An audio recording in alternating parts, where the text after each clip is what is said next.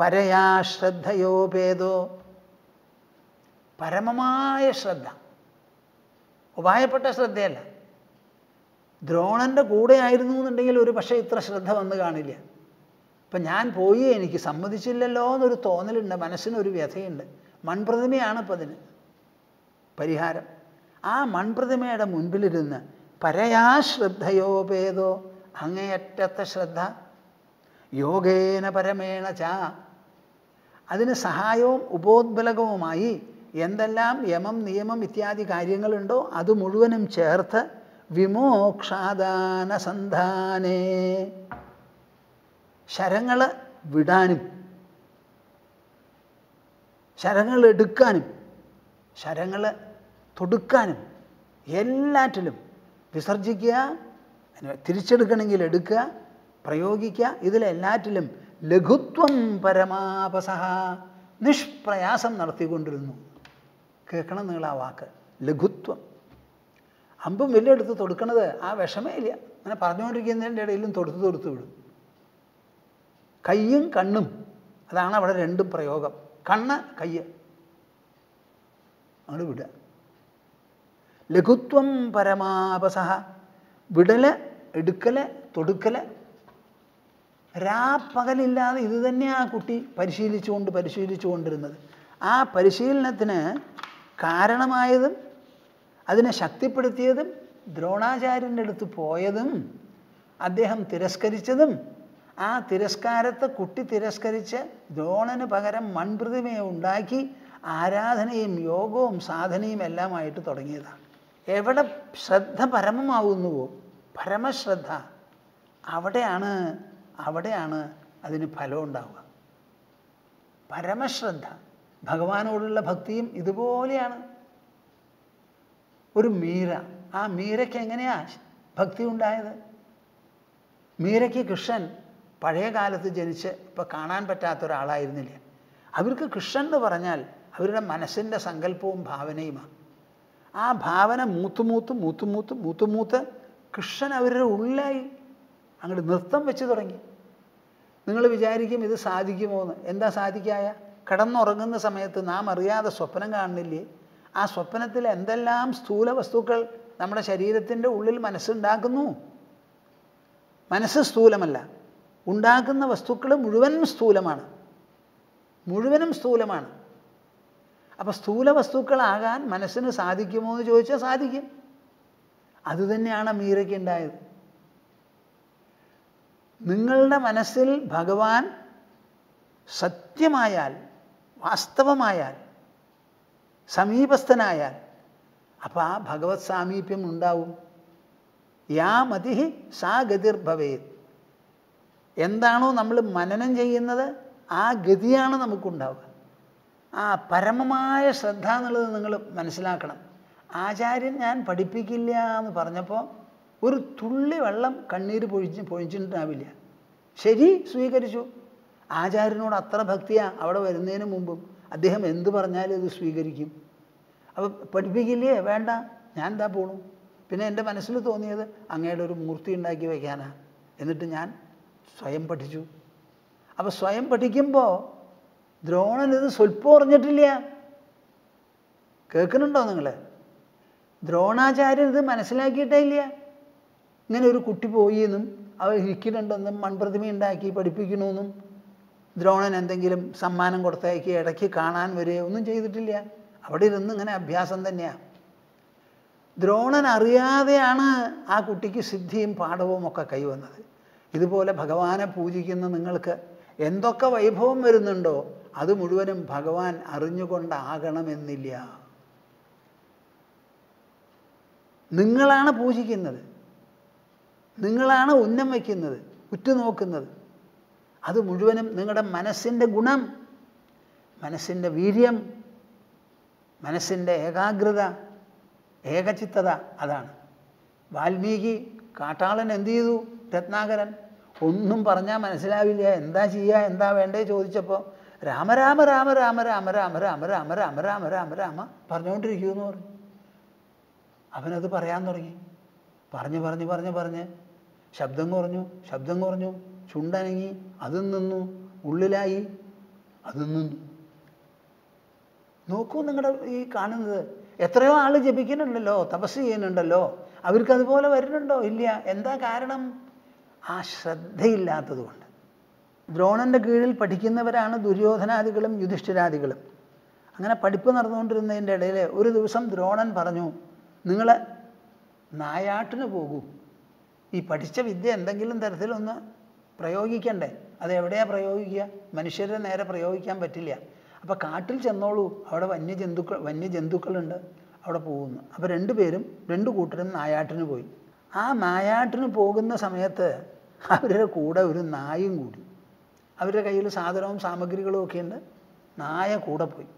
തേഷാം വിചരതാം തത്ര തത്തത് കർമ്മചികീർഷയ ശ്വാചരൻ സവനേ മൂഢോ? നൈഷാദിം പ്രതിജഗ്മിവാൻ.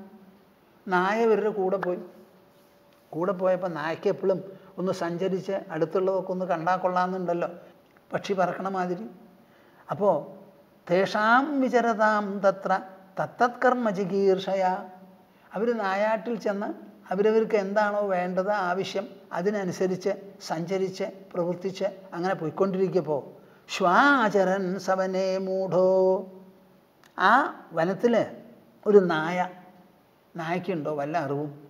എന്നാൽ ചില നായകൾക്ക് ബുദ്ധി ഉണ്ടാവും ഇത് അങ്ങനെയില്ല മൂഢന. നൈഷാദിം പ്രതിജഗ്മിവാൻ. നടന്ന് നടന്ന് നടന്ന് പോയപ്പോൾ ഈ കുട്ടിയുടെ അടുക്കലേക്ക് എത്തി ഏകലവ്യന്റെ അടുക്കലേക്ക്. നിഷാദരാജാവിന്റെ മകൻ.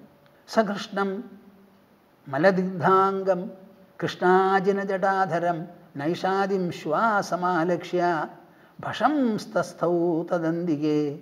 അവിടെ പോയപ്പോൾ താൻ കണ്ടിട്ടുള്ള രാജകുമാരന്മാരുടെ വേഷമൊന്നും അല്ലാതെ. ഇതെന്ത് വേഷാപ്പാ അത്? കറുത്തിരിക്കണു മലദിഗ്ധാംഗം. മേൽ മുഴുവൻ ചളി പൊടിയൊക്കെ പുരണ്ടിട്ടുണ്ട്. കൃഷ്ണാജിന ജടാധരം കറുത്ത കൃഷ്ണൻ കൃഷ്ണമാനുണ്ടല്ലോ കറുത്ത മാനിന്റെ തോല ഉടുത്തിരിക്കുന്നത് ജട പിരിച്ചിരിക്കണു ക്രോപ്പും കീപ്പൊന്നുമില്ല നൈഷാദിം അങ്ങനെ ഒരു നിഷാദിയെ കണ്ടപ്പോൾ നിഷാദപുത്രനെ കണ്ടപ്പോൾ ശ്വാസം ആലക്ഷ്യ പെട്ടെന്ന് കാണേ. ഇതുവരെ ഒരു ദിക്കിലും കണ്ടിട്ടില്ല. അപ്പം നായ്ക്കൾ പെട്ടെന്ന് എന്തെങ്കിലും കണ്ട് പേടിക്ക് അല്ല ദേഷ്യപ്പെടുക തോന്നിയാൽ എന്ത് ചെയ്യും? അങ്ങോട്ട് കുരയ്ക്കും. ഇതാണ് ചെയ്തത്. അപ്പം ഭഷംസ്തസ്തൗ തദന്തികേ. അവിടെ കുരച്ചുകൊണ്ടാ നിന്നു. പക്ഷേ നായ്ക്ക് പഴച്ചു പഴച്ചു. നായയുടെ വിചാരം എന്തെങ്കിലും ഇളകി മറിഞ്ഞാൽ ഖപ്പ് കടിക്കാന്നാ. പക്ഷെ സംഭവം അതല്ല. ഭഷംസ്തസ്തൗ തദന്തികെ. ഏകലവ്യന്റെ മുൻപിൽ കുരച്ചുകൊണ്ട് നിന്നു. തദാ തസ്യാഥ ഭഷത. ശുനഃ സപ്തശരാൻമുഖേ. ലാഘവം ദർശയന്നസ്ത്രേ മുമോച യുഗപദ്യഥ. തദാ തസ്യാഥ ഭഷത. ഇതെന്താ ഒരു നായ? ഇത്ര ദിവസവും ഇല്ലാത്തത്. വന്നിങ്ങനെ കുരച്ചുകൊണ്ട് നിൽക്കണു. ഞാനാണെങ്കിൽ ഇവിടെ ശസ്ത്രമൊക്കെ തൊടുക്കാൻ പിടിക്കുക ഇതിൽ പുക് പുക് എന്ന് പറഞ്ഞാൽ ഇതൊരു ഒരു വിഘ്നമാണല്ലോ. അതും നായയാണ്. അപ്പം അങ്ങനെ കുരച്ചുകൊണ്ടിരിക്കുന്ന നായയെ തഥാ തസ്യാഥ ഭഷത ശുനഃ സപ്തശരാൻമുഖേ ഏഴ് അസ്ത്രമെടുത്ത് ഏഴ് അസ്ത്രമെടുത്ത് ആ നായയുടെ വായിന്റെ ഉള്ളിലേക്ക് അങ്ങോട്ട് എഴുതു കൊടുത്തു എന്താ അതിനെ ആലോചിക്കണം? നായ എന്താ ചെയ്യണേ? ഭക് ഭക് ഭക് ഭക് ഇങ്ങനെ കുരയ്ക്കുകയാണല്ലോ. ഈ കുരയ്ക്കുന്ന സമയത്ത് ആ വായ എത്ര നേരം തുറന്നിരിക്കും? എപ്പോഴാണ് കുരയ്ക്കണേ? അപ്പോൾ കുരയ്ക്കാൻ സമയം എത്ര എടുക്കണു? ആ വായ തുറന്നിരിക്കുന്ന സമയം എത്രയാ? അടയ്ക്കണത് എത്രയാ? ഇതൊന്നും ഒരു കണക്ക് വേണമല്ലോ അതിന്റെ ഇടയിലാണ് അസ്ത്രം പ്രയോഗിച്ചത്. പ്രയോഗിച്ചത് എവിടെയാ?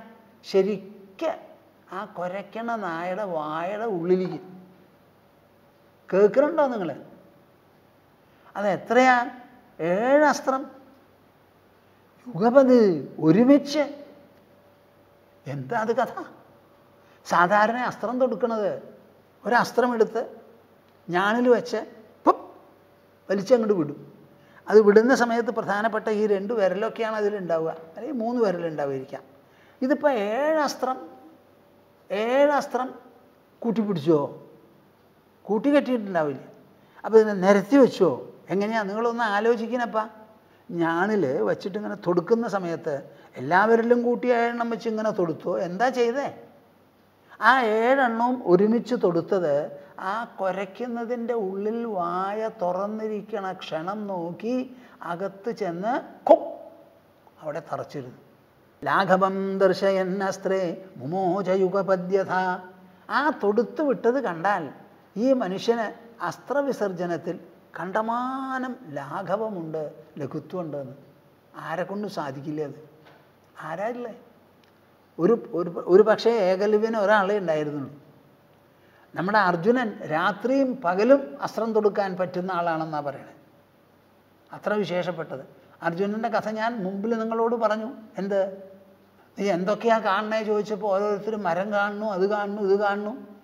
ഞാൻ ആദ്യം പക്ഷിയുടെ ദേഹം കണ്ടു. ഇപ്പൊ കണ്ണ് മാത്രമേ കാണുന്നുള്ളൂ. വേറെ ഒന്നുമില്ല എന്ന് പറഞ്ഞപ്പോൾ ആ തൊടുത്തോളൂ എന്ന് പറഞ്ഞു ദ്രോണൻ.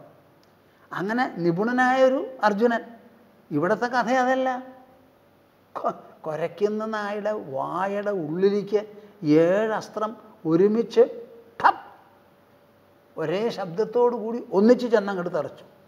മുമോച യുഗപദ്യഥ സദുഷ്വാ ശരപൂർണാസ്യ പാണ്ഡവാൻ ആജഗാമ തം ദൃഷ്ട്വാ പാണ്ഡവാ വീരാ പരം വിസ്മയമാഗതാ സദുഷ്വ ശരപൂർണാസ്യ ഇപ്പം എന്താ ഈ സ്ഥിതി?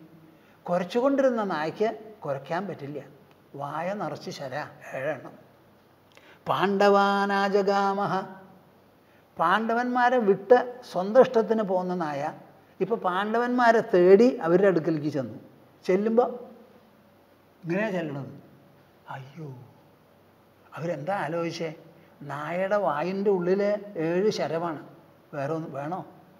ആരാ ഇത് തൊടുത്തേ? ഇതെങ്ങനെയാണ് ഏഴെണ്ണം ഉള്ളിൽ ചെന്നേ? ഒരു നായയുടെ ഉള്ളിൽ ഇത് എങ്ങനെയാണ് സാധിക്കുക അവർ തം ദൃഷ്ടുവാ പാണ്ഡവ വീരാ.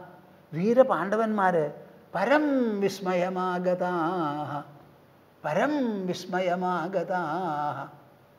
അവർക്ക് അങ്ങേ അറ്റത്തെ ആശ്ചര്യം തോന്നിയത്. ആരാപ്പ ലാഘവം ശബ്ദവേദിത്വം ദൃഷ്ട്വാ തത്പരമം തഥാ പ്രേക്ഷ്യതം വ്രീഡിതാശ്ചാസൻ പ്രശംസുശ്ച സർവശ. ലാഘവം ശബ്ദവേദിത്വം വാ പാണ്ഡവന്മാർ അവർ നല്ല പഠിപ്പും അറിവും പരിശീലനവും ഒക്കെ ഉള്ളവരാണ്. ഈ ഇതാര് ചെയ്താലും ഇത്ര ലാഘവമോ? ശബ്ദവേദിത്വം വായിൽ നിന്ന് പുറപ്പെടുന്ന ശബ്ദത്തിനെ പോലും ഭേദിക്കണം അവർ ആ കുരയ്ക്കണ സമയത്ത് വേണം കുറുന്ന അകത്തേക്ക് ചെല്ലാൻ. കേൾക്കുന്നുണ്ടോ നിങ്ങൾ ആ പട്ടിക ഭക് കുരയ്ക്കുമ്പോൾ ആ ശബ്ദം ആ ശബ്ദത്തിന്റെ ഉള്ളിൽ കൂടി വേണം ഈ ശരം ചെന്നങ്ങോട്ട് കയറാൻ അപ്പം ശബ്ദവേദിത്വം എന്നൊരു മഹാ വിദ്യ. ദൃഷ്ട്വാതത് പരമം തഥാ ഇത്ര അധികം ശബ്ദത്തിന് വേദിക്കാനുള്ള ഒരു സാമർഥ്യം ഒരു കുശലത ജ്ഞാനമോ? ഇതെന്താപ്പാ അത്? പ്രേക്ഷിതം വ്രീഡിതാശ്ചാസൻ. അവരൊക്കെ വലിയ ശസ്ത്ര വീരന്മാരാണ് അസ്ത്രശസ്ത്ര വീരന്മാരാണ്. അപ്പോൾ അത് കണ്ടിട്ട് അവർക്ക് ലജ്ജ തോന്നിയത്രേ. അയ്യോ നമ്മളൊക്കെ ഇപ്പോൾ എവിടെ നിൽക്കണു ഈ നായയുടെ വായയുടെ ഉള്ളിലേക്ക് ഏഴമ്പ് ഒരുമിച്ച് തൊടുത്ത് അതിങ്ങനെ വെച്ചുകൊണ്ട് നായ ഇവിടെ വന്നിരിക്കും പ്രശംസുഷ്ട സർവശ. ഒരു ഭാഗത്ത് ലജ്ജ തോന്നി. ഇത് ചെയ്തത് ആരായാലും ആ ആൾ അങ്ങേയറ്റത്തെ നിപുണൻ തന്നെപ്പാ. അവർക്ക് സ്തുതി ആ ആൾക്ക് സ്തുതി.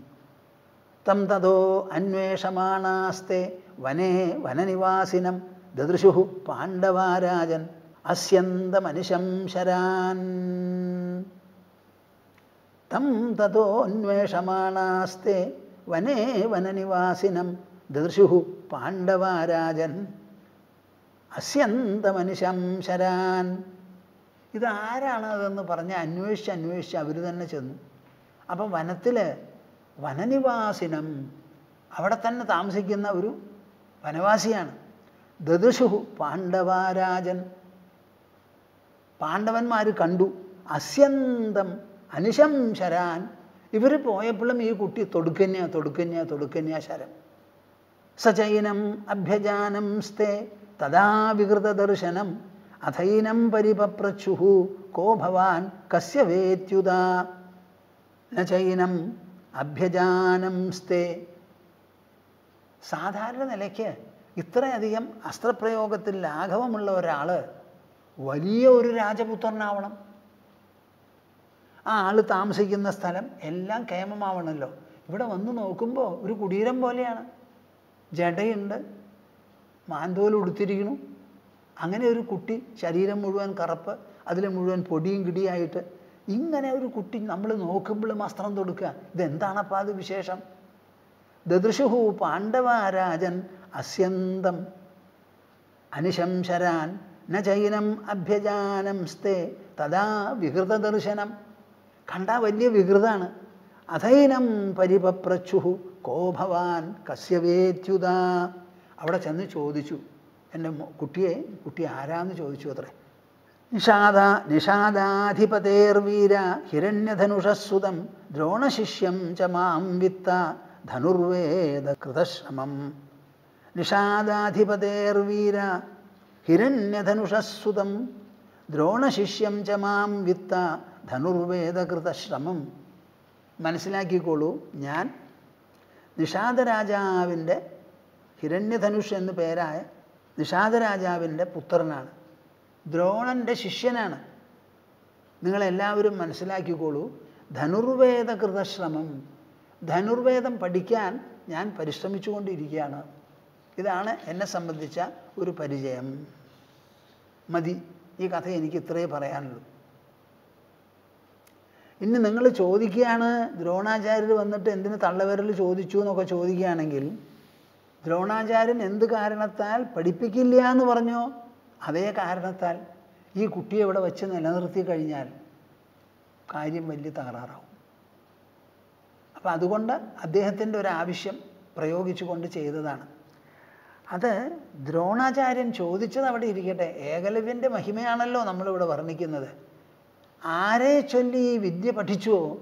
ആ ആൾ എന്തു ചോദിച്ചാലും കൊടുക്കണമല്ലോ അപ്പോൾ നിഷ്പ്രയാസം തള്ളവരെല്ലാം അങ്ങോട്ട് കൊടുത്തു. ആ കൊടുത്തതിന്റെ മഹിമയാണ് നമ്മൾ മനസ്സിലാക്കേണ്ടത്. അല്ലാണ്ട് ദ്രോണാചാര്യൻ ശരി ചെയ്തോ തെറ്റ് ചെയ്തോ എന്ന് കൊടുക്കണമെങ്കിൽ ഒരാൾ ചോദിക്കണമല്ലോ ചോദിക്കാതെ ഇങ്ങനെ ഒരു മഹത്വം ഒരാൾക്ക് പ്രദർശിപ്പിക്കാൻ പറ്റുമോ? പറ്റില്ല.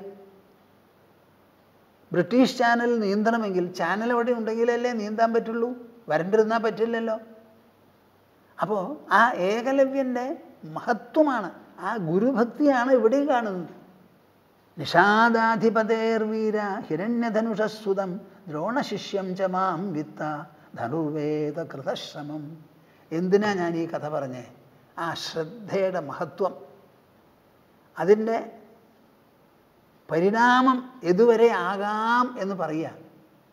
ദ്രോണൻ നേരിട്ട് പഠിപ്പിച്ചാൽ ഇത് സാധിക്കില്ല. ദ്രോണാചാര്യന് ഏഴ് അസ്ത്രം ഒരേ സമയത്ത് കുരയ്ക്കുന്ന പട്ടിയുടെ വായിലേക്ക് തൊടുക്കാൻ അദ്ദേഹത്തിനും പറ്റുമെന്ന് എനിക്ക് തോന്നുന്നില്ല. പക്ഷെ അദ്ദേഹത്തിന്റെ ശിഷ്യനത് സാധിച്ചുല്ലോ. അപ്പം ശ്രദ്ധ കൊണ്ട് നമുക്ക് സാധിക്കാത്തത് എന്താ? യോ യശ്രദ്ധ സയേവ സഹ യോ യശ്രദ്ധ സയേവ സഹ യോ യശ്രദ്ധ സയേവ സഹ ഒരു മനുഷ്യന്റെ ഉള്ളിൽ ശ്രദ്ധ എത്രയുണ്ടോ അതാണ് ആ മനുഷ്യൻ. ശ്രദ്ധയില്ലാത്തതാണ് നമുക്കുള്ള തകരാറ്. നിങ്ങൾക്ക് എല്ലാവർക്കും ഇത് കേട്ട് വേണ്ടതുപോലെ ശ്രദ്ധ മനസ്സിൽ ഉദിച്ച് അത് തീവ്രമായി നിങ്ങളുടെ ആവശ്യങ്ങൾ എന്തോ അത് നല്ല ആവശ്യങ്ങൾ സഫലമാകട്ടെ എന്ന് മനസ്സാ എല്ലാവരെയും ആലിംഗനം ചെയ്ത് ഞാൻ അനുഗ്രഹിക്കുന്നു. എത്ര വിശേഷപ്പെട്ട ചരിത്രങ്ങളാണ് നമുക്കുള്ളത്. നമുക്ക് ഏകലവ്യനെ കാണാൻ പറ്റിയിട്ടില്ല.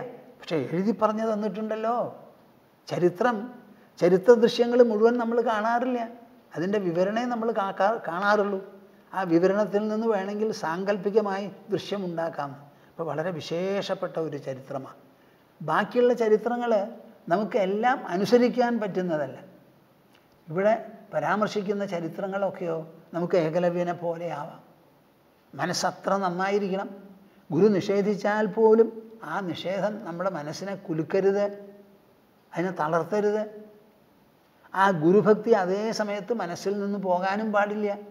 ആ ഗുരുഭക്തിയെ മുൻനിർത്തി പ്രതിമയുണ്ടാക്കി ആ ഗുരുവിനെ ആരാധിച്ച് ആരാധിച്ച് അദ്ദേഹം പഠിപ്പിക്കുന്നത് പോലെ പഠിപ്പിക്കാതെ പഠിച്ചെടുത്ത അതിനിപുണനാണ് ഈ ഏകലവ്യൻ. ആ ഏകലവ്യന്റെ നൈപുണ്യത്തിൽ നാം കാണുന്നത് ശ്രദ്ധ എന്ന് പറയുന്ന രണ്ടക്ഷരാണ്.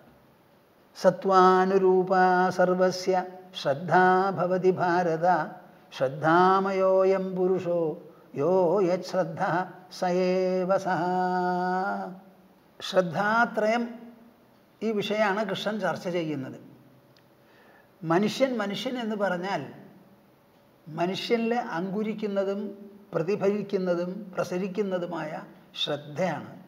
ഒരു ആഫീസിൽ ഇന്റർവ്യൂവിന് പോയത്രേ ആ പോകുന്ന സമയത്ത് രണ്ട് മൂന്നാൽ ആൾക്കാരുണ്ട്. അപ്പോൾ അവരെ ഇന്റർവ്യൂ ചെയ്യുന്നതിന് മുൻപ് ഇന്റർവ്യൂ ചെയ്യുന്ന ആൾ ഇതാ അപ്പം ഞാൻ ഇവിടെ കസേരി മേശയായിട്ട് ഇരിക്കുന്ന പോലെ ഇരുന്നുകൊണ്ടിരിക്കുക. ആ ആൾ വരുന്നതിന് ആൾക്കാർ വരുന്നതിന് മുമ്പ് ഇദ്ദേഹം കയ്യിലുള്ള പേന താഴ്ത്തവിടെ ഇട്ടു. ആദ്യത്തെ ആൾ ഇന്റർവ്യൂവിന് വന്നു. വന്നപ്പോൾ അയാൾ നോക്കിയപ്പോൾ അവിടെ ഒരു പേന കണ്ടു.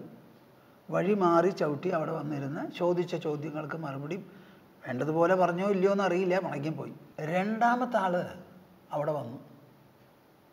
വന്നപ്പോൾ അവിടെ ഒരു പേനയുണ്ടെന്ന് നോക്കിയത് തന്നെ ഇല്ല. അങ്ങനെയാ മൂപ്പര് വന്നിരുന്ന ഇന്റർവ്യൂ നടത്തിയത്. മൂന്നാമത്തെ ആൾ വന്നപ്പോൾ ആ പേന കണ്ടു. കുമ്പിട്ടതെടുത്ത് ഇദ്ദേഹത്തിന്റെ മേശപ്പുറത്ത് വച്ചതിന് ശേഷം കസേരയിലിരുന്ന് സംസാരം തുടങ്ങി. ഇന്റർവ്യൂ നടന്നു. എന്താ ഈ മൂന്ന് പേർക്കും തമ്മിലുള്ള വ്യത്യാസം? ഗുരുനാഥന്മാർക്ക് നല്ല ശിഷ്യന്മാരുണ്ടാവും. ഗുരുശിഷ്യ ബന്ധം വളരെ വിശേഷപ്പെട്ടതാണ് നിങ്ങൾ ഗൃഹസ്ഥന്മാരൊക്കെ വിചാരിച്ചുകൊണ്ടിരിക്കും ഭാര്യാഭർത്തൃ ബന്ധമാണ് വിശേഷം. അച്ഛനമ്മമാരും മക്കളും തമ്മിലുള്ളതാണ് ബന്ധം വിശേഷം. സഹോദരന്മാർ ഭർത്തൃസഹോദരന്മാർ ഭാര്യാ സഹോദരികൾ ഇങ്ങനെ പലരും ഉണ്ടല്ലോ ബന്ധങ്ങൾ ഇതൊക്കെയാണ് മെച്ചം മെച്ചം ഫ്രണ്ട്സ് കൂടിയിരിക്കുന്നതാണ് എന്നൊക്കെ വിചാരിക്കും. എന്നാൽ എനിക്ക് പറയാനുള്ളത് ഗുരുശിഷ്യ ബന്ധമാണ് ഏറ്റവും വിശേഷപ്പെട്ടത് എന്ന്. അത് പൂർണ രൂപത്തിൽ ഉൾക്കൊള്ളാനും പ്രകടമാക്കാനും അതിന്റെ സൗഭാഗ്യം അനുഭവിക്കാനും എല്ലാവർക്കും സാധിക്കാറില്ല. ഗുരുവിന്റെ അടുത്ത് നമുക്ക് പറയേണ്ടതൊക്കെ പറയാം. അതിൽ നല്ലതും പെടും ചീത്തയും പെടും ഇത് രണ്ടുമല്ലാത്തതും പെടും എന്തുണ്ടെങ്കിലും പറയാം. ഭഗവാനോട് ക്ഷേത്രത്തിന്റെ മുൻപിൽ ചെന്ന് നിന്ന് കണ്ണടച്ച് നാം പലതൊക്കെ പറയും. എന്താ ആരും കേൾക്കില്ലല്ലോ. ഭഗവാനും കേൾക്കില്ല. എങ്ങാനും ഈശ്വരൻ കേട്ട് കഴിഞ്ഞാൽ അതിന് ചില മറുപടിയൊക്കെ പറയാൻ അദ്ദേഹത്തിനുണ്ടാവും. ആ മറുപടി കേട്ടു തുടങ്ങിയാൽ ആരാ ക്ഷേത്രത്തിൽ പോവുക? ഒരൊറ്റാളും പോവില്ല. അതാണ് അവിടെ മനസ്സിലുള്ളതൊക്കെ പറഞ്ഞ് ഇറക്കി ഭാരമിറക്കി വരുന്നത്. ഒരു ഗുരുവിന്റെ അടുത്ത് ചെന്നാൽ അങ്ങനെയല്ലല്ലോ. അദ്ദേഹം പറയണത് കേൾക്കുന്നു സഹതപിക്കുന്നു അനുമോദിക്കുന്നു അഭിനന്ദിക്കുന്നു അങ്ങനെ പല കാര്യങ്ങളും ചെയ്ത് ഓരോന്നും കേൾക്കുമ്പോൾ തനിക്ക് പറയാനുള്ളതൊക്കെ പറഞ്ഞു തരും. അപ്പം അദ്ദേഹത്തിന്റെ അടുത്ത് നമുക്ക് ഉള്ളതെല്ലാം പറയാം. എന്നാൽ ഈ ശിഷ്യന്മാർക്ക് എന്താ അഭിപ്രായം എന്നറിയോ? പലതരത്തിലാണ് അവരുടെ പെരുമാറ്റം. അവരുടെ ഉള്ളിരിപ്പുകളൊന്നും അവർ പറയില്ല. ഒന്നും പറയില്ല. എന്താ പറയാതിരിക്കണേന്ന് ഞാൻ ആരോടും ചോദിച്ചിട്ടില്ല. എന്റെ അടുത്ത് വരുന്നവരൊക്കെ ഉള്ളു തുറന്ന് സംസാരിക്കുന്നവരാ. സംസാരിക്കാത്തവരെ കണ്ടാൽ നമുക്ക് അറിയാമല്ലോ അപ്പോൾ എന്തെങ്കിലും ഒരു സമയത്ത് പറയാൻ തയ്യാറില്ല എന്നറിഞ്ഞാൽ അതെനിക്കറിയാം. അവരോട് ചോദിക്കൂല പറയൂല അവർ വിചാരിക്കുന്നുണ്ടാവും സ്വാമിജി എന്താ അങ്ങനെയെന്ന്? എന്നോട് ചോദിച്ചാൽ ഞാൻ മറുപടി പറയും. അന്ന് ഞാനൊരു ചോദ്യം ചോദിച്ചു അതിന് ശരിക്കും മറുപടി പറഞ്ഞില്ല അല്ലേ? അപ്പോൾ ഉള്ളു തുറന്ന് സംസാരിക്കാത്ത ഒരാളാണ്. ആ ആൾക്ക് എന്താ ഒരു ഗുരു ചെയ്യാൻ പറ്റുക ഈശ്വരൻ വിചാരിച്ചാലും ഒന്നും ചെയ്യാൻ പറ്റില്ല. ഇവർക്ക് ഈ ഉള്ളിലുള്ളത് പറഞ്ഞാൽ എന്താ തകരാറ്? അതൊന്ന് ആലോചിക്കണം നിങ്ങൾ എനിക്ക് തോന്നുന്നത് അവനവൻ ചെയ്ത കാര്യങ്ങൾ മുഴുവൻ ഒരു ഗുരുവിന്റെ അടുത്ത് പറഞ്ഞാൽ അതിൽ സംഭവിച്ചിട്ടുള്ള പാകപ്പഴകളും തെറ്റും പാപവുമെല്ലാം ഗുരു അറിഞ്ഞാൽ എന്റെ വില പോവില്ലേ അദ്ദേഹത്തിന്റെ മുൻപിൽ? എന്നൊരു പേടിയാവാം. ഇങ്ങനെ ഒരാളാണോ ഈ മനുഷ്യൻ? ഇത്രയും വലിയ പാപം ചെയ്തുവോ തെറ്റ് ചെയ്തുവോ? എന്ന് വിചാരിക്കുമ്പോൾ നമ്മുടെ മനസ്സിൽ വിഷമ. അതായിരിക്കാം ഒരു കാരണം.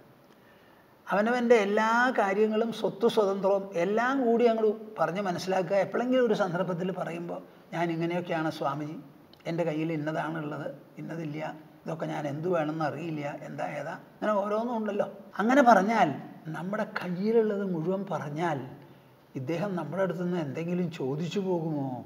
അങ്ങനെയും ഒരു പേടിയുണ്ടാവും ഇനി നിങ്ങൾക്ക് ഈ പേടി ലിസ്റ്റിൽ എന്തൊക്കെ വേണോ അതൊക്കെ പെടുത്താം.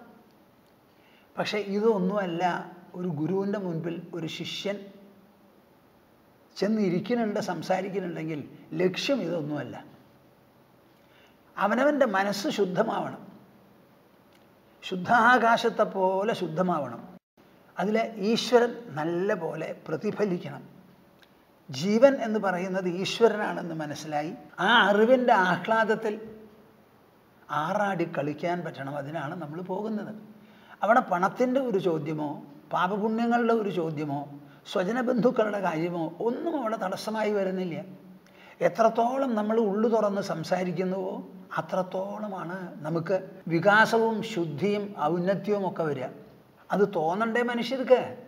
ഉള്ളിലുള്ള വച്ചുകെട്ട് വച്ചുകെട്ട് വച്ചുകെട്ട്. കൊല്ലങ്ങൾ മുൻപ് ഞാൻ ഒരു കുട്ടിയാന്ന്. എന്നോട് കൊടുങ്ങല്ലൂക്കാരൻ ഒരാൾ വന്നിരുന്ന് സംസാരിക്കുമ്പോൾ പറഞ്ഞു നിങ്ങൾക്ക് എന്തെങ്കിലും ബുദ്ധിമുട്ടോ എന്തെങ്കിലും സ്വഭാവവിശേഷങ്ങളോ വിഷമുള്ളതോ ഉണ്ടോ? ഒന്നുമില്ല സ്വാമിജി. പക്ഷേ കയ്യിലുള്ള പണം ചെലവ് ചെയ്യുന്ന കാര്യത്തിലും കൊടുക്കുന്ന കാര്യത്തിലും ഞാൻ ഇത്തിരി പിശുക്കനാണ് ഞാനത് കേട്ടിട്ട് ചിരിച്ചു. അദ്ദേഹത്തിന് അങ്ങനെ ഒരു വിഷമം ഉണ്ടെന്ന് അറിഞ്ഞാൽ നമ്മൾ എന്തു വേണം? അയ്യോ കൂടുതൽ ജാഗ്രതയോട് കൂടി പെരുമാറും.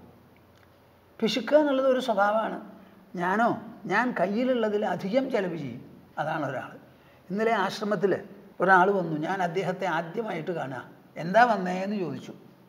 ചോദിച്ചപ്പോൾ പറയുകയാണ് മുക്തി സുധാകരൻ കേൾക്കാൻ തുടങ്ങിയിട്ട് കൊല്ലങ്ങളായി. അപ്പോൾ ടി വിയിലെ സ്വാമിജിയെ കാണുന്നുള്ളൂ. ഞങ്ങളുടെ വീട്ടിൽ എന്നും വരുന്നുണ്ട്. പക്ഷേ നേരിട്ടൊന്ന് കാണുന്നത് വേറെയാണല്ലോ. അതുകൊണ്ട് കാണാൻ വന്നതാ. ശരി നന്നായി എനിക്കിഷ്ടമായി എന്നും പറഞ്ഞു. അത് കഴിഞ്ഞ് എന്തെങ്കിലും സംസാരിക്കാനുണ്ടോ ചോദിച്ചപ്പോൾ ഒന്നുമില്ല എന്നാണ് പറഞ്ഞത് ഞാൻ എണീറ്റപ്പോൾ പറയുകയാണ് എനിക്ക് ഞാനിവിടെ വന്നതിലൊരു ഉദ്ദേശമുണ്ട് എന്താ? ഞാനും ഞാൻ കല്യാണം കഴിച്ച ആളും തമ്മിലൊരു യോജിപ്പില്ല. അവരുടെ വിചാരങ്ങളൊക്കെ അധർമ്മ. എന്റെ വിചാരങ്ങളൊക്കെ ധർമ്മ. അപ്പം ഞങ്ങൾ തമ്മിൽ ഒരിക്കലും ചേരില്ല എന്ന് പറഞ്ഞിട്ടാണ് തുടങ്ങിയത്. അദ്ദേഹത്തിന് ഇപ്പം എന്നോട് പറയേണ്ട ആവശ്യം എന്താ?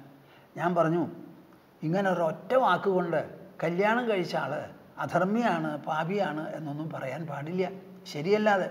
അങ്ങനെ ഒരാൾ എന്തുകൊണ്ടാണ് ഈ ചില വികലതകൾ സംസാരത്തിലോ പെരുമാറ്റത്തിലോ തോന്നുന്നത് എന്ന് ആലോചിച്ച് നോക്കണം.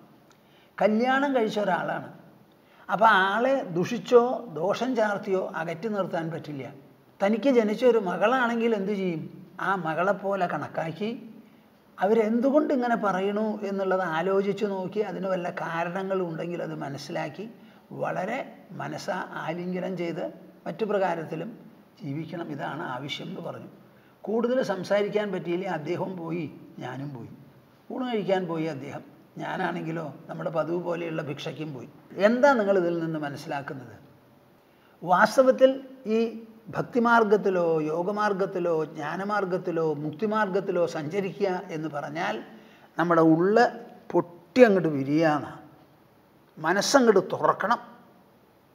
തുറക്കണം കത്തിയില്ലാതെ ഓപ്പറേഷൻ ഇല്ലാതെ നമ്മുടെ മനസ്സങ്ങോട്ട് തുറക്കണം. തുറന്നു കഴിഞ്ഞാൽ പിന്നെ ഒന്നുമില്ല ബാക്കി? ഉള്ളു തുറന്ന് പൂർണമായി പൂർണമായി ആ ഉള്ളനുഭവം സ്ഫുരിക്കാവുന്ന തരത്തിൽ ശുദ്ധമായി സരളമായി ലളിതസുഭകമായി അങ്ങനെ ആയാൽ എല്ലാം ശരിയായി. അപ്പം അതിന് ഈ ഗുരുവായിട്ടുള്ള സംസർഗം നമുക്ക് ഇടവയ്ക്കും മറ്റാരോടും തുറന്നു പറയാൻ സാധിക്കാത്ത കാര്യങ്ങൾ പോലും ഒരു ഗുരുസമക്ഷം നാം അവതരിപ്പിക്കുമ്പോൾ ഒരാളുടെ മുൻപിൽ മനസ്സ് തുറന്നാലും മനസ്സ് തുറന്നുമല്ലോ പത്താളുടെ മുൻപിലോ നൂറാളുടെ മുൻപിലോ തുറക്കണം എന്നില്ല എവിടെയെങ്കിലും ഒരിക്കൽ തുറന്നാൽ നിങ്ങൾ വാതിൽ തുറന്നു. അത് എന്തിനു തുറന്നു എന്നിരിക്കട്ടെ? തുറന്നാൽ തുറന്നു കഴിഞ്ഞുമല്ലോ അതുമാതിരി നമ്മുടെ മനസ്സും തുറക്കും. ഇത് തുറക്കാൻ അനുവദിക്കാതെ നമ്മളെ വിഷമിപ്പിക്കുന്നത് എന്താ? നമ്മുടെ ഉള്ളിലുള്ള ശ്രദ്ധയാണ്. ഞാനും പോയി ഞാനും ഉപദേശം മേടിച്ചു ദീക്ഷ മേടിച്ചു എന്നൊക്കെ പറഞ്ഞ് ഇരിക്കുന്നവരുണ്ടാവും. ഈ ഗുരുവിന്റെ അടുത്ത് വരുന്ന ശിഷ്യന്മാർ രണ്ട് മൂന്ന് തരത്തിലാണെന്നാണ് പറയുന്നത് ഒരു തരം എന്താ? എന്തെങ്കിലും നമ്മൾ പറഞ്ഞു കൊടുത്താൽ കേൾക്കും. ഒരു പക്ഷേ പറഞ്ഞത് ഉടനെ ആവർത്തിക്കും. പക്ഷേ മനസ്സിൽ കയറില്ല മണ്ണിലടിച്ച ആണി പോലെയാണ് അടിക്കുമ്പോൾ വേഗം ഇറങ്ങും. ഇറങ്ങിയതിന് ശേഷം പിടിച്ചു വലിച്ചാൽ വരും ചെയ്യും. അപ്പോൾ പറയണതൊക്കെ കേൾക്കും. മനസ്സിലൊന്നും തങ്ങി നിൽക്കില്ല. അങ്ങനെ ഒരു കൂട്ടർ പിന്നെ ഒരു കൂട്ടരോ? അവരോട് പറഞ്ഞ് മനസ്സിലാക്കാൻ കുറേ ബുദ്ധിമുട്ടാണ്. പറഞ്ഞ് മനസ്സിലാക്കി കൊടുത്താൽ തന്നെ അവർ ഗ്രഹിക്കുള്ളൂ ചെയ്യുള്ളൂ. ഇനിയൊരു കൂട്ടരോ പറയാതെ തന്നെ എന്താ ഗുരു പറയാൻ ഉദ്ദേശിക്കുന്നത് ബാക്കിയുള്ളവരോട് സംസാരിക്കുന്നതൊക്കെ കേട്ട് മനസ്സിലാക്കും. അദ്ദേഹത്തിന് വല്ല ആവശ്യങ്ങളും ഉണ്ടെങ്കിൽ ആ ആവശ്യം ഗുരു പറയാതെ തന്നെ നിറവേറ്റും. ആദ്യത്തെ ആളെ എത്ര പറഞ്ഞാലും ചെയ്യാൻ പറ്റില്ല. രണ്ടാമത്തെ ആളോട് പറഞ്ഞു കൊടുത്താൽ അത് ചെയ്യും. മൂന്നാമത്തെ ആളോടോ പറയാതെ എന്താ വേണ്ടതെന്ന് വെച്ചാൽ അതൊക്കെ നോക്കി ചെയ്യുക ഇങ്ങനെ മൂന്ന് തരത്തിലാണ് മുതിർന്നവരെ സേവിക്കുന്ന സമ്പ്രദായം. സേവനം അങ്ങനെയാണ് ഇതൊക്കെ നമ്മുടെ മനസ്സിലുള്ള ശ്രദ്ധയുടെ വിശേഷമാണ് ഒരു ശ്രദ്ധ ഒരു മനുഷ്യനെ എത്രമാത്രം മൂശയിലിട്ട് രൂപപ്പെടുത്തും എന്ന് പറയാൻ പറ്റില്ല. ശ്രദ്ധ ശ്രദ്ധ. ഈ രണ്ട് അക്ഷരം ഉണ്ടല്ലോ. ഓ അതിന് വാസ്തവത്തിൽ ഇംഗ്ലീഷിൽ ഒരു അർത്ഥം പറയാൻ പറ്റില്ല. സമാനമായ ഒരു ശബ്ദമില്ല. ഞാൻ പറയുന്നത് അസിഡ്യുവസ് അപ്ലിക്കേഷൻ എന്നാണ് ശ്രദ്ധയ്ക്ക് പറയുക. നമ്മുടെ മനസ്സും ബുദ്ധിയും ഇന്ദ്രിയങ്ങളും എല്ലാം തന്നെ ഒരേ മാതിരി ഒരേപോലെ എന്തെങ്കിലും വിഷയത്തിൽ വ്യഗ്രമാക്കി തീർക്കണം. ഞാൻ കമ്പ്യൂട്ടറിൽ ധാരാളം ജോലി എടുക്കുന്ന ആളാണല്ലോ. രണ്ട് പ്രവൃത്തിയേ ഉള്ളൂ ഞാൻ എപ്പോഴും പറയാറുണ്ട്. ഒന്നിലോ ജനങ്ങളോട് സംസാരിക്കും വന്നവരോട് സംസാരിക്കും. ഇല്ലെങ്കിൽ ഞാൻ എഴുതും. ഇപ്പോഴത്തെ എഴുത്തൊക്കെ കമ്പ്യൂട്ടറിലാണ് അപ്പോൾ കമ്പ്യൂട്ടർ വെച്ച് ഒരു കാര്യം എഴുതാൻ പുറപ്പെടുമ്പോൾ മണിക്കൂറുകളോളം അവിടെയാണ് ഒന്ന് എണീക്കണം കയ്യൊക്കെ ഒന്ന് പൊന്തിക്കണം ഒന്ന് കൊടയണം ഇതൊക്കെ വേണ്ടതാ. അതൊന്നും നടക്കാറില്ല. അങ്ങനെ പതിഞ്ഞ ഞാൻ ചിലപ്പോൾ ആലോചിക്കും ഇത്രയധികം സമയം കമ്പ്യൂട്ടറിൽ ഇങ്ങനെ പതിഞ്ഞിരിക്കുന്നുണ്ടല്ലോ അപ്പോൾ ഇതെന്താ അത് എന്ന് ഞാൻ തന്നെ അതിശയിക്കാറുണ്ട്. ശ്രദ്ധയാണ് ഇതിൽ മുഴുവൻ കാര്യം.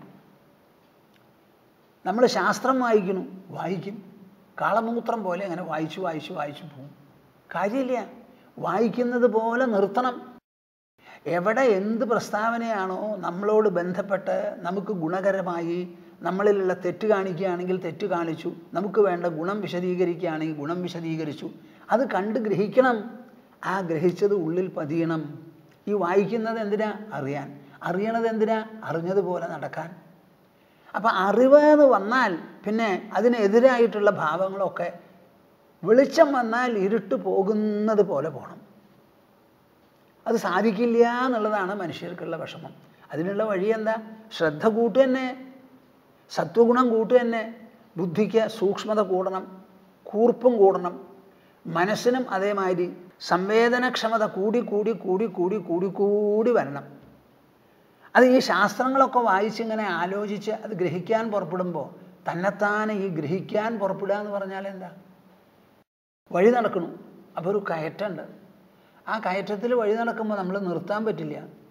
സ്പീഡത്തിൽ കുറഞ്ഞാലും ഒന്ന് കുമ്പിട്ടിട്ട് കാലിങ്ങനെ വെച്ച് വെച്ച് നമ്മൾ മുമ്പിലേക്ക് കയറും അതേമാതിരി ശാസ്ത്രങ്ങൾ വായിക്കുമ്പോഴോ മറ്റു പ്രകാരത്തിലോ ഒരു സംഗതി ഗ്രഹിക്കാൻ വിഷമമായ അത് വിടുകയല്ല വേണ്ടത്. അതിൽ മുട്ടിമുട്ടി മുട്ടിമുട്ടി മുട്ടിമുട്ടി നിൽക്കണം. നാളികേരം ഉടയ്ക്കാൻ പുറപ്പെടുമ്പോൾ വെട്ടുകത്തി കൊണ്ട് ടപ്പ് എന്ന് ഉടച്ചാൽ ചിലപ്പോൾ പൊട്ടില്ല ഉദ്ദേശമായിരുന്നു. നാലും അഞ്ചും ആറും എട്ടും ഒക്കെ തവണ വെട്ടേണ്ടി വരും. അപ്പോഴേ പൊട്ടുള്ളൂ. അപ്പോൾ വിട്ടുകളയാൻ പറ്റില്ല. ഇതെന്താണെന്ന് ആലോചിക്കണം. അറിയേണ്ടവരോട് ചോദിക്കുക. ചോദിച്ച് മനസ്സിലാക്കുക.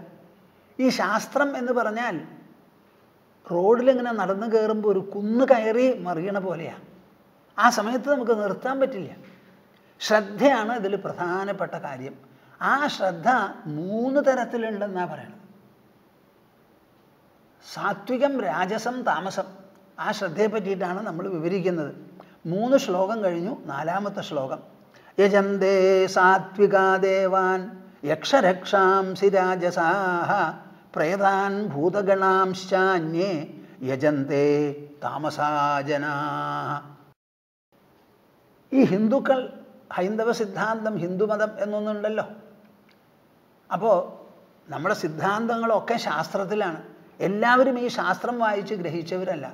അതേസമയത്ത് ഈ പുണ്യഭൂമിയിൽ ജനിച്ചവർ ഒരുപടി ആൾക്കാരുണ്ട്. വനവാസികളുണ്ട് സമതലവാസികളുണ്ട് ഇത് രണ്ടുമല്ലാത്തവരുണ്ട് ഇവരെയൊക്കെ നാം ഒന്നടങ്കം ഹൈന്ദവം ഹൈന്ദവം ഹൈന്ദവം എന്നാണ് പറയണത് പറയെങ്കിലും ചെയ്യണുണ്ടല്ലോ അത്രയും നല്ലത്. പക്ഷേ ഇവർക്കൊക്കെ നമ്മുടെ ശാസ്ത്ര സംസ്കാരം ഒരുപോലെ ഉണ്ടെന്ന് വിചാരിക്കരുത്.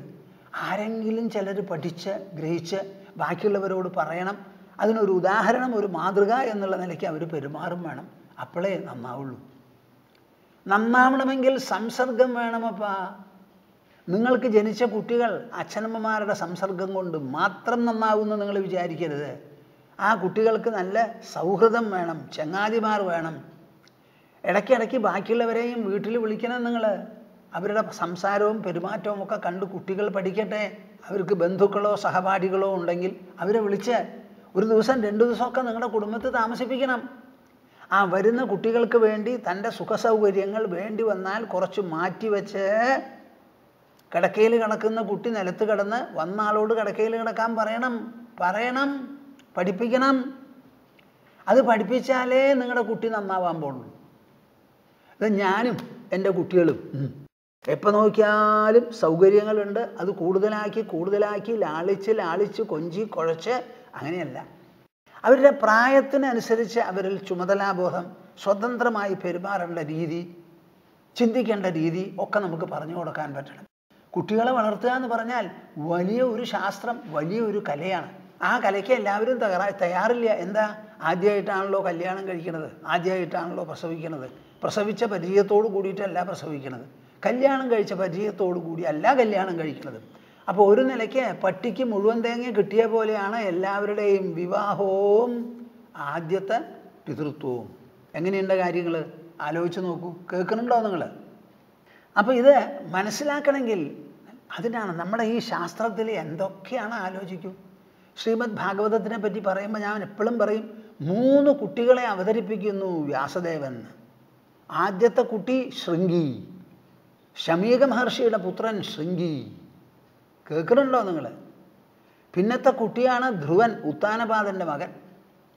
ആ മകനെയാണ് സുനീതി. തികഞ്ഞ ആത്മവിശ്വാസത്തോടു കൂടി ഈ രാജധാനിയിൽ എന്റെ പൊന്നുമോനെ നിനക്ക് നീതി കിട്ടില്ല. അച്ഛന്റെ മടിയിൽ നിന്ന് അച്ഛന്റെ മടി കിട്ടില്ല. സുരുചിയുടെ പുത്രൻ ഇരിക്കുമ്പോഴാണല്ലോ മടിയിലിരിക്കുമ്പോഴാണല്ലോ നീ ചെന്നത്. നിനക്കും തോന്നിയിരിക്കണമെന്ന്. നീ ഇരിക്കാൻ ചെന്നപ്പോൾ തടഞ്ഞത് ആരാ? ചെറിയമ്മയാ തടഞ്ഞത്.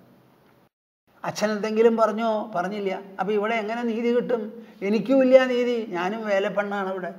രാജ്യമൊന്നുമല്ല. അതുകൊണ്ട് എത്രയും വേഗം എന്റെ പൊന്നുമോനെ ഞാൻ പറയണു. മധുവനത്തിൽ ചെന്ന് ആ പെരും വനത്തിൽ ഒറ്റയ്ക്ക് നീ തപസ് ചെയ്യ്. അവിടെ ചെന്ന് തപസ് ചെയ്ത് മഹാവിഷ്ണുവിനെ തൃപ്തിപ്പെടുത്തിയാൽ നിനക്ക് ഒരു കാലത്തും നഷ്ടപ്പെടാത്ത മടി കിട്ടും. നോക്കൂ. ആ കുട്ടിയോട് അമ്മ പറഞ്ഞത് നിങ്ങളാണെങ്കിൽ എന്ത് ചെയ്യും? ഇവിടെ കോളേജും സ്കൂളും ബസ്സിൽ അയക്കാൻ വിഷമം. അയച്ചു കഴിഞ്ഞ് അഞ്ച് മിനിറ്റ് നേരം വയ്യാ നൂറ് ടെലിഫോൺ ചെയ്യും. എന്ത് പറ്റി? എന്ത് പറ്റിയെന്ന് തന്നെ പൊക്കോളൂ എന്നാ പറഞ്ഞത്. പറഞ്ഞയച്ചുല്ലോ എല്ലാവരും അമ്മമാരാ. എല്ലാവരും പരമഭക്തന്മാരാ.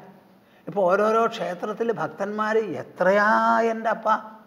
അവരാരെങ്കിലും സുനീതിയെ പോലെ തന്റെ മകനെ കാട്ടിലേക്ക് അഞ്ച് വയസ്സിൽ തപസ് ചെയ്യാൻ പറഞ്ഞയക്കുമോ എന്ന് നിങ്ങളൊന്ന് ആലോചിക്കും. ഭക്തിയുടെ പരിശോധന ഭക്തി പരീക്ഷ. പറയണത് ആരോടോ ആവട്ടെ ചെയ്തത് ആരോ ആവട്ടെ ഭാഗവതം വായിക്കുന്നത് മുതിർന്നവരാണ്. അഞ്ചു വയസ്സുള്ള കുട്ടി ഒരു പക്ഷേ ശ്രീമദ് ഭാഗവതം വായിച്ച് മനസ്സിലാക്കി കേട്ട് ഗ്രഹിച്ചു എന്ന് വരില്ല. പക്ഷേ കേൾക്കുന്നവരൊക്കെ പ്രായപൂർത്തി വന്നവരും മുതിർന്നവരുമാണ്. അപ്പം നമ്മൾ കുട്ടിയുടെ കഥ പറഞ്ഞാലും മുതിർന്നവന്റെ കഥ പറഞ്ഞാലും ആ കഥയിൽ കഥാപാത്രങ്ങളായി അവിടെ നിൽക്കണു അത്ര മാത്രമേ ഉള്ളൂ. അവിടെ നടക്കുന്ന സംഭവങ്ങൾ മുഴുവൻ സാർവത്രികമാണ്. എല്ലാവർക്കും വേണ്ടിയുള്ളതാണ് പിന്നെയാണ് നമ്മളോട് പറയുന്നത് പ്രഹ്ലാദൻ. വാ. ആ മൂന്ന് പേരുടെ ജീവിതവും ഇങ്ങനെ അടക്കി അടക്കി അടക്കിയ. ശൃംഗി ഒരു തെറ്റ് ചെയ്തു. നാട്ടിൽ തന്നെയായിരുന്നു. അച്ഛന്റെ അടുത്ത് പോയി. അപ്പം അച്ഛൻ പറയുകയാണ് ചെറിയ ഒരു തെറ്റിന് നീ ഇത്ര വലിയ ശിക്ഷ നൽകിയല്ലോ എന്ന് പറഞ്ഞ് മകനെ തിരുത്തുക ചെയ്തത് അച്ഛൻ. ധ്രുവനോടോ രാജധാനിയിലുള്ള അനീതിക്ക് എനിക്കൊരു പരിഹാരം കാണാൻ പറ്റില്ല എന്റെ പൊന്നുമോനെ. നിനക്കും സാധിക്കില്ല. ചെറിയമ്മ പറഞ്ഞതൊരു വലിയ അനുഗ്രഹവും ഒരു വെളിച്ചവുമാണെന്ന് കണക്കാക്കി. നീ മധുവനത്തിലേക്ക് പോക എന്ന് പറഞ്ഞയച്ചുല്ലോ ഇതാണ് ഭക്തിയുടെ മാർഗം. ഈശ്വര വിശ്വാസത്തിന്റെ താങ്ങും തണലുമാണ് നമ്മളിവിടെ കാണുന്നത്. അത് കഴിഞ്ഞ് പ്രഹ്ലാദനോ സ്വന്തം അച്ഛൻ തന്റെ ഹരിഭക്തിയെ നഖശിഖാന്തം വെറുത്തു എതിർത്തു. അവസാനം മകനെ കൊല്ലാൻ വാളൂരി പുറപ്പെടുക വരെ ചെയ്തു. ആ സമയത്താണ് മഹാവിഷ്ണുവിന് ആ പൊന്നു മോനെ രക്ഷിക്കേണ്ടി വന്നത്. പുത്രവാത്സല്യമില്ലാതെ പെരുമാറുന്ന ഒരു രാക്ഷസ ചക്രവർത്തി. പുത്രവാത്സല്യമില്ലാതെ പെരുമാറുന്ന രാക്ഷസ ചക്രവർത്തി. വാത്സല്യമില്ലാതെ പെരുമാറിയെന്ന് മാത്രമല്ല പുത്രനെ ശത്രുവായി കണ്ട് വെട്ടിക്കൊല്ലാൻ പുറപ്പെട്ടു. അതിനു മുൻപ് വിഷവും മറ്റും കൊടുത്ത് കൊല്ലിക്കാൻ പാമ്പിനെ കൊണ്ട് കടിപ്പിച്ച് കൊല്ലിക്കാനും പരിശ്രമിച്ചു. ഇതാണ്. ശൃംഗിയുടെ അച്ഛൻ ഒരു ദേഷ്യവുമില്ലാത്തവനാ. നമ്മുടെ ധ്രുവന്റെ അമ്മ വളരെ വാത്സല്യത്തോട് കൂടിയിട്ടാണ് സംസാരിച്ചത്. ഇവിടെയോ ഇത് രണ്ടുമില്ല. അങ്ങനെ വന്നാലും ഒരു കുട്ടിക്ക് എന്തെങ്കിലും ആശ്രയമുണ്ടോ? താങ്ങും തണലുമുണ്ടോ? നാം ഈ ജോ ലോകത്തിൽ അനാഥകളായിട്ടാണോ ജീവിക്കുന്നത്? ലോകം മുഴുവനും പിഴച്ചാലും പിഴയ്ക്കാതെ ഇരിക്കാൻ നമുക്ക് പറ്റുമോ? ആരാണ് നമ്മളെ സഹായിക്കുക? ദൃശ്യലോകം മുഴുവനും പരാജയപ്പെടുത്തി എന്നിരിക്കട്ടെ. ആ സമയത്ത് ആ പരാജയത്തിനെ അപൂർവ ജയമാക്കി മാറ്റാനുള്ള വല്ല അദൃശ്യ ശക്തിയോ അദൃശ്യ അനുഗ്രഹമോ ഉണ്ടോ? ഈ ചോദ്യങ്ങൾക്കൊക്കെയുള്ള മറുപടിയാണ് ശ്രീമദ് ഭാഗവതം ഈ കഥകളിലൂടെ നമുക്ക് പറഞ്ഞ് മനസ്സിലാക്കി തരുന്നത്. ഇതാണ് ഈ ശാശ്വത സാഹിത്യം എന്ന് പറയുന്നത്. ശാശ്വത സാഹിത്യം എന്ന് പറഞ്ഞാൽ എന്താ അർത്ഥം? എവർലാസ്റ്റിംഗ് ലിറ്ററേച്ചർ എന്നർത്ഥം. എക്കാലത്തും നാശമില്ലാതെ ഏത് മനുഷ്യ മനസ്സും എപ്പോഴും ഏത് യുഗത്തിലും എത്ര നാഗരികതയിലും ഉറ്റുനോക്കുന്നത് തേടുന്നത് അർത്ഥിക്കുന്നത് തിരഞ്ഞു നടക്കുന്നത് മനസ്സിന്റെയും ബുദ്ധിയുടെയും ദാഹം തീർക്കാനുള്ള അമൃതപാനീയമാണിത്. ഇതാണ് നമ്മുടെ ശാസ്ത്രങ്ങൾ. അപ്പോൾ എപ്പോഴും നല്ലപോലെ നിങ്ങൾ മനസ്സിലാക്കണം. ഞാൻ പറഞ്ഞല്ലോ കുട്ടികളെ വളർത്തുന്നത് വലിയൊരു കലയാണെന്ന്. ആ വലിയ കലയുടെ വിവിധ വശങ്ങളാണ് ഇവിടെ കാണിച്ചു തരുന്നത്. നിങ്ങൾ പലപ്പോഴും വിചാരിക്കും നമ്മുടെ കുട്ടികൾ എന്ത് ചെയ്താലും പൊന്നു കുട്ടികളാ പൊന്നു കുട്ടികളാ സമ്മാനം കൊടുക്കണം സമ്മാനം കൊടുക്കണം എന്നാണ് നിങ്ങളുടെ വിചാരം. അവർക്ക് ശരിയായിട്ടുള്ള സമ്മാനം നല്ലത് പറഞ്ഞ് മനസ്സിലാക്കി കൊടുക്കല കൊച്ചു കുട്ടിക്ക് ആ വയസ്സിനനുസരിച്ച ഉദ്ബോധനം നിങ്ങൾ നൽകണം. പ്രായം കൂടി വരുമ്പോൾ അതിനനുസരിച്ചായിരിക്കണം നിങ്ങൾ ഉദ്ബോധിപ്പിക്കുന്നത്. കുറച്ച് കഴിഞ്ഞാൽ കുട്ടികൾ അച്ഛന്റെ പെരുമാറ്റവും അമ്മയുടെ പെരുമാറ്റവും കാണുന്നുണ്ട്. അച്ഛന്റെ പെരുമാറ്റത്തിൽ കുറേ വക്രതയോ വികലതയോ ഒക്കെ ഉണ്ടെങ്കിൽ കുട്ടികൾ കണ്ട് മനസ്സിലാക്കണില്ല എന്നാണ് നിങ്ങളുടെ വിചാരം? ഇന്നാളിവിടെ ഒരു അമ്മ വന്നു. അവർ പലതും സംസാരിക്കുന്നതിന്റെ ഇടയിൽ കുറേ കാര്യങ്ങൾ പറഞ്ഞ് കുറച്ച് കരയൊക്കെ ചെയ്തു. അപ്പോൾ കരയുമ്പോൾ ഞാൻ കരയണ്ടെന്ന് പറയാറില്ല. കരഞ്ഞ് മനസ്സ് ശാന്തമാവട്ടെ എന്ന്. അതിന്റെ ഇടയിൽ പറയുകയാണ് ഞാൻ പലപ്പോഴും എന്റെ കുട്ടികളോട് പറയാറുണ്ട് എന്ത്? നിങ്ങൾക്കിതെല്ലാം ഈ വീട്ടിലെ അന്തരീക്ഷം നിങ്ങൾ കാണുന്നതാണ്? എന്തൊക്കെ നടക്കണു? അച്ഛനെ അമ്മയെ എങ്ങനെ പെരുമാറണു എന്നൊക്കെ. ഒരിക്കലും അച്ഛനോട് അനാദരവ് തോന്നരുത് എന്നാണ് അമ്മയ്ക്ക് പറയാനുള്ളത്. കേൾക്കുന്നുണ്ടോ നിങ്ങൾ ഒളിച്ചു വയ്ക്കാൻ പറ്റുന്ന നിങ്ങളുടെ വിചാരം? കുട്ടികളുടെ കണ്ണിൽ നിന്നും മനസ്സിൽ നിന്നും ഒളിച്ചു വയ്ക്കാൻ പറ്റുമോ? നിങ്ങൾ അച്ഛനമ്മമാർ തമ്മിലുള്ള പെരുമാറ്റം? ഒരിക്കലും സാധിക്കില്ല. എപ്പോഴും നിങ്ങൾ രണ്ടുപേരും ഒരു മുറിയുടെ ഉള്ളിൽ അടഞ്ഞു ജീവിക്കുന്നവരല്ല. പുറത്തു വരണം പെരുമാറണം. മനസ്സിലുള്ള വികാരങ്ങളും ക്ഷോഭങ്ങളും ഒക്കെ അന്യോന്യം പറയാറുണ്ട് കേൾക്കാറുണ്ട്. പരിഭവങ്ങൾ കാട്ടും. ഇങ്ങനെ പലതുമുണ്ട് ഇതൊക്കെ കുട്ടികൾ കാണുന്നുണ്ടപ്പാ. അപ്പം ആ കുട്ടികൾക്ക് നിങ്ങൾ നൽകേണ്ടത് ബുദ്ധിയാണ്. ബുദ്ധിയാണ്. സുനീതി എന്താ പൊന്നു മോനോട് പറഞ്ഞത്? നിനക്ക് മാത്രമല്ല എനിക്കുമുണ്ട് ഈ അനീതി. ഞാനും അതിന് പാത്രമാണ്. ഈ രാജധാനിയിൽ നിനക്ക് കിട്ടില്ല എനിക്ക് കിട്ടിയിട്ടില്ല. അതുകൊണ്ട് എന്റെ പൊന്നു മോനെ നീ പോ എന്ന് പറഞ്ഞ് അയച്ചു. എന്നിട്ട് എന്തുണ്ടായി? തിരിച്ചു വരുമ്പോഴേക്കും രാജധാനിയിലുള്ള അച്ഛൻ ചെറിയമ്മ ഉത്തമൻ തൊത്തമൻ സർവ ആൾക്കാർ എല്ലാവരും കാത്ത് ഒരു ഉത്സവ രൂപത്തിൽ കെട്ടിപ്പിടിച്ച് സന്തോഷിക്കാനായിട്ട് കാത്തിരിക്കുക. ഇതാണ് ഈശ്വരാനുഗ്രഹം കൊണ്ട് നടക്കുക. ഒന്ന് മനസ്സിലാക്കിനപ്പാ ഈ പ്രപഞ്ചം ശൂന്യമല്ല. ഇത് പൂർണമാണ്. ഇത് നിർദ്ദയമല്ല ദയാ നിർഭരമാണ്. ഇത് സ്നേഹവിഹീനമല്ല സ്നേഹം ഒഴുകുന്നതാണ് ഈ ലോകം. ഒറ്റാളും നിരാശപ്പെടരുത് ഇവിടെ.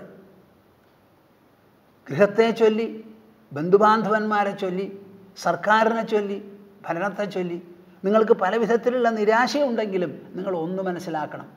നമുക്കിതാ ഈ വക നിധികൾ ഇട്ടേച്ച് പോയിട്ടുണ്ട് നമ്മുടെ പൂർവികർ. ഭഗവത്ഗീത ഉള്ളിടത്തോളം കാലം ശ്രീമദ് ഭാഗവതം ഉള്ളിടത്തോളം കാലം ഭാരതീയ പൗരന്മാർക്ക് ഒരു തരത്തിലുള്ള അധപ്പതനവും വരില്ല. വരില്ല. ബാഹ്യം തോൽപ്പിച്ചാൽ പോലും ആന്തരം നമ്മളെ ജയിപ്പിക്കും. ഇതാണ് നമുക്ക് ആവശ്യം. എത്ര നന്നായി പറഞ്ഞു തരുന്നു.